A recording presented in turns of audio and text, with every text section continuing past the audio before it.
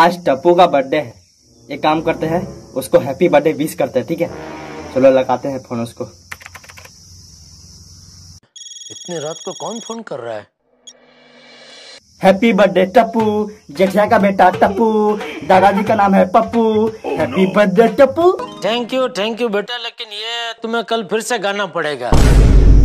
पर तुम कौन बोल रहे हो? आए टप्पू का पापा बेटा। ओ सॉरी घटिया uncle oh sorry Jethiya uncle हम सोचे कि टप्पू फ़ोन उठाया है इसलिए थोड़ा सारी मार दिए। नहीं नहीं कोई बात नहीं बेटा ठीक है घटिया oh sorry Jethiya uncle phone रखते हैं।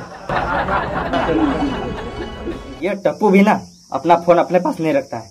साला उसका बाप उठा रहा है बार बार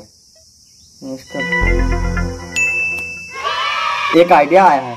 एक काम करते हैं घटिया ओ सॉरी जेठिया अंकल को फ़ोन लगाकर परेशान करते हैं। मज़ा आएगा आवाज़ बदल करके परेशान करेंगे। लगाते हैं फ़ोन उसको अभी।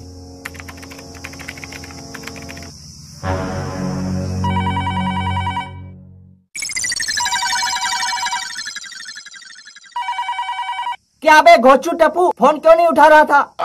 हेलो देखो टप्पू सो गया है सुबह फ़ोन करना। ठीक है ठीक है अंकल रखते हैं।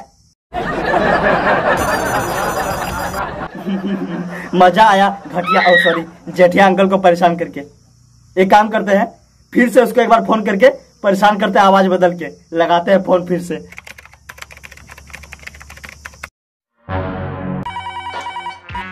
हैप्पी बर्थडे मेरे शेर!